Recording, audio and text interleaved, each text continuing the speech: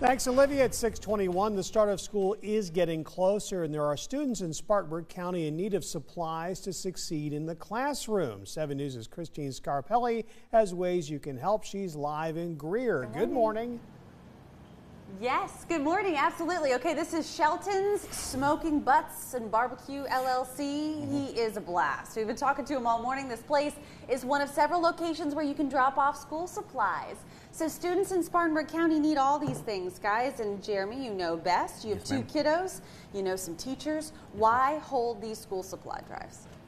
The reason we're doing this is there are a lot of low-income schools in Spartanburg County, a lot of low-income areas, and Sure. unfortunately, the teachers just aren't given a lot of money from the school district to buy supplies for their classrooms.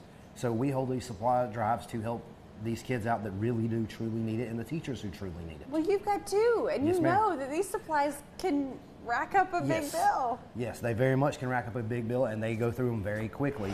So not only do the kids need them to start school, but the teachers need them throughout the year to help get those kids Right. supplies they need. Absolutely, and we support them for sure. Okay, you're having several events where people can come and donate. Yes, ma'am. But I would love to talk about um, maybe the one right where we are at Shelton's. Tell me about Yes, that. This is we're doing a car show for a Spartanburg County Sheriff's deputy that has stage one vocal cord cancer. We are going to be here for two days. We're starting off with a 28-hour fishing marathon. Ah. Spartan catfishing and my business partner will be out here for 28 hours straight. It's fully involved events upstate. Yes, ma'am. Okay. And then as soon as we're, they're done, we are going to be holding that car show on August 6th from 2 to 5 p.m. Okay, so they'll be out here. You can donate school supplies. There are also several locations where you can just drop them off.